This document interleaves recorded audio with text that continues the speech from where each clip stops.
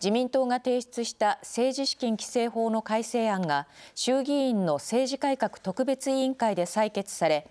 自民公明の与党と日本維新の会の賛成多数で可決されました。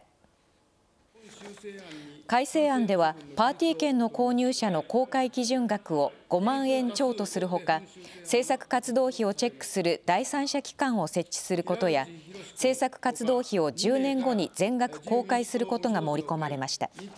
採決に先立つ質疑で岸田総理大臣は自民党が一連の原因を作ったとし政治の信頼回復に取り組んでいくとの考えを改めて強調しました。今国会でのこの政治資金規正法の確実な改正と、そして政治の信頼回復、全力で取り組んでいきたいと。改正案は明日、衆議院本会議で可決され、参議院に送られる見通しです。